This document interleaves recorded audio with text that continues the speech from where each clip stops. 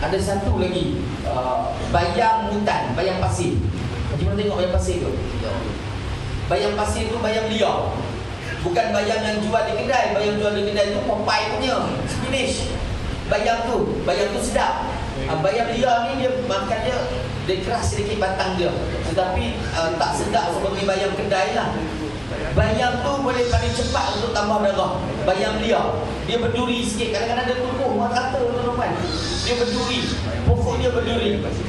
Cara dia cari yang lembut lagi tu yang yang pokok tak besar yang belum ada bunga tu campur dengan akar-akar.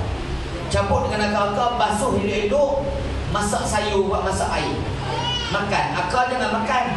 Makan batang semua makan, daun semua makan. Akar biarlah tapi kita masak dengan akar-akar sekali. Itu kaedah dia kawan saya buat banyak kali tuan-tuan bila kita dalam perubatan ni kita suruh ada kadang-kadang ada sedikit hujan kita suruh berpuasa beberapa hari. Tanpa makan benda berdarah lah. Apalah uh, jadi bila dia buat ni badan dia mulai lemah. Dia lemah dia kata macam bila pergi cek dia kata darah kurang. Saya kata makan bayam. Cari bayam liar. Cari bayam pasir. Orang sebut ada setengah bayam pasir, ada setengah sebut bayam hutan, ada setengah sebut bayam liar, bayam bayam berduri pun orang sebut juga. Bayam tu makan. Uh, anak buah saya makan dua minggu berturut-turut dia pergi cari tuan masuk hutan cari bayam tu dia tahu dah kawasan dia. Kalau kita tahu biasanya di kawasan-kawasan yang lepas tolak tanah kadang-kadang dia tumbuh.